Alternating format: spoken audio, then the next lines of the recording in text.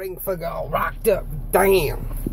What's up, man? It's Monday. It is July 20th.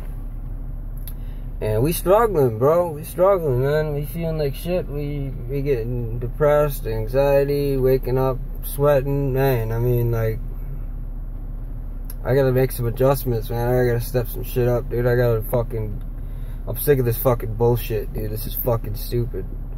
So, um, here I am, man, like, still just trying to fucking, trying to separate myself from, from weed, you know? Um, it's just like, damn, like, it feels like I can't fucking quit, and I know I can, but it's like,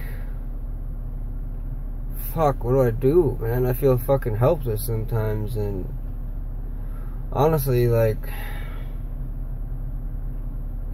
I don't know. I just don't know. Like, I want. I feel like the right thing to do is that I need to quit smoking weed. I feel that that's the right thing to do. Um, now here I am. It's four o'clock. I haven't smoked weed yet today.